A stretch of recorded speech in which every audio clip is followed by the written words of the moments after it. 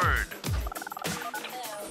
word. Um, if you are a shoe collector, if you're one of those fellas, someone who likes to get their rocks off with their kicks off.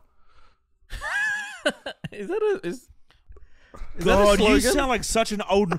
You sound like such an old man saying that. rocks off with the kicks off. I'm just like making it. it up.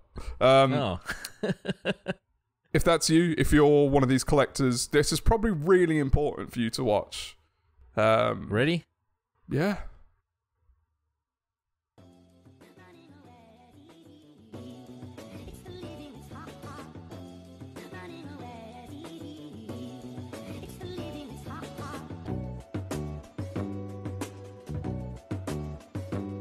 So Mm. when I first saw this, I thought it was a cake.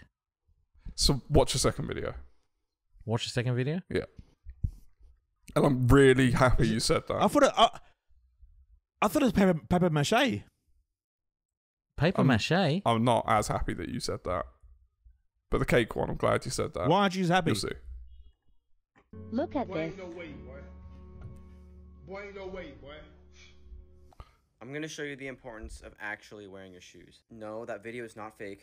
That's a 1999 pair, and midsoles over time crumble like that, especially if you don't wear them. Someone in the comments also said that they thought it was a cake.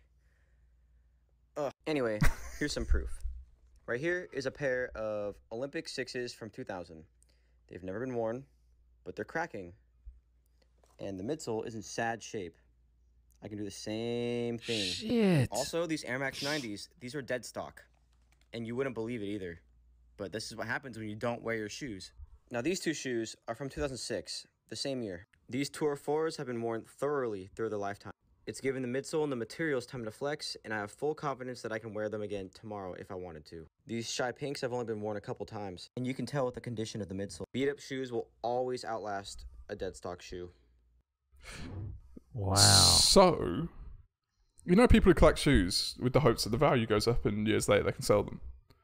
Yeah. Your best bet is to actually just wear them and keep them clean. Yeah. Yeah.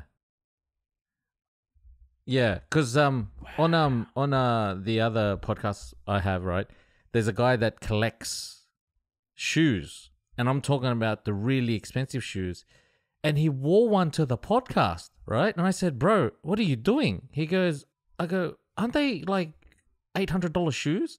And he goes, "Yeah." I was like, "Why are you wearing those shoes?" And he goes, "You have to wear them, otherwise they're gonna like just fall apart." And I, I, didn't- I didn't understand what the frick he was talking about until you showed me this video. They literally fall apart just by scrubbing it. That's amazing. That is amazing. Hey Siege, how do your shoes would never um fall apart, eh? You compress them pretty well. You know where you can kiss with that comment. Your shoes will last forever. mate. Uh, mate, I, I, I got a spot for you to kiss. yeah. Y- You know, right now, I, I don't, I don't want to be rude with our people that are watching this the show. Yeah. But like, I got, I got somewhere for you to kiss.